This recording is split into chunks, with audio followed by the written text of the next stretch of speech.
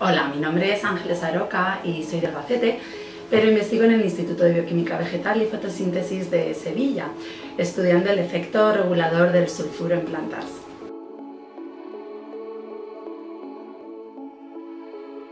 Sobre todo eh, la biología molecular, trabajar con genes y con proteínas siempre me ha parecido algo muy interesante y estaba deseando trabajar en este tipo de trabajo.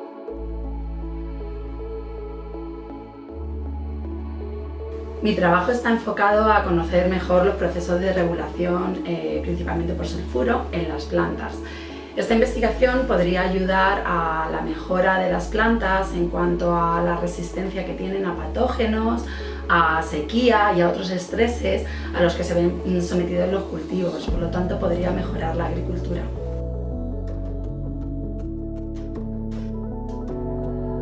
Yo quería ser bióloga desde que tenía 8 añitos, lo tenía muy clarito, así que el único consejo que podría darme es sigue tu sueño. Y yo creo que me dijera lo que me dijera acabaría siendo bióloga.